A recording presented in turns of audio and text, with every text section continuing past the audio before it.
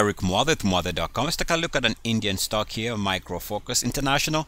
And we are seeing a stock that has had a nice run since the IPO in 2014. Essentially moving here from a thousand to the current highs of about 2,400. So we can see that this is an IPO, so of course we don't have fully developed monthly charts. The only time the monthly chart gives us our buy point in terms of breaking out to three-year highs is during this period here. So let's call it in July of this year or June. Breakout there, and you can also see in the, that's the breakout in the monthly RSI and also the movement of the RSI above 69.1 for the first time ever and we can also see that it corresponds nicely with the MACDs moving to all-time highs so that period in June so we are talking about this breakout here.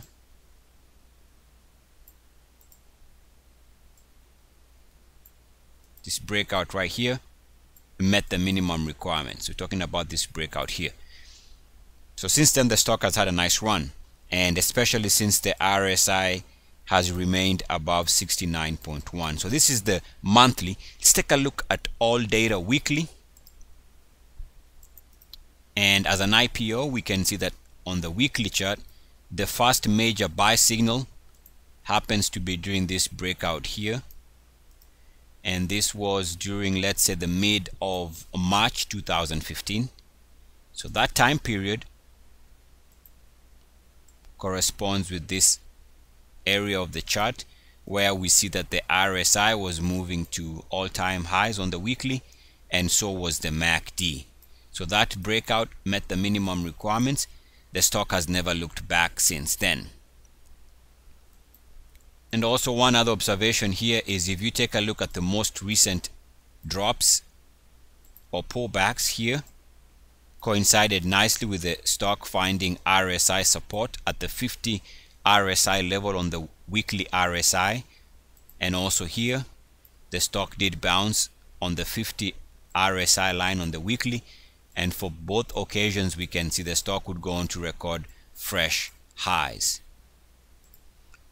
One other observation is we can see the current move, this recent explosion in price from a technical standpoint corresponds nicely with the RSI jumping to all-time highs on the weekly chart and of course we are talking about this movement which has kept the RSI at all-time highs that also corresponds with the main MACD moving to all-time highs so this recent explosion in price based on whether you look at the weekly chart or you look at the monthly chart corresponds with the RSI staying above 69.1 RSI jumping to all-time highs and so is the default MACD on the weekly jumping to all-time highs which explains the explosion in price over the last yes over the last couple of weeks and months. Eric as always insist that your stocks are breaking out in terms of the RSI and the MACDs and you might have a chance of owning some of these great moving instruments. Peace and blessings. E a C S yeah boy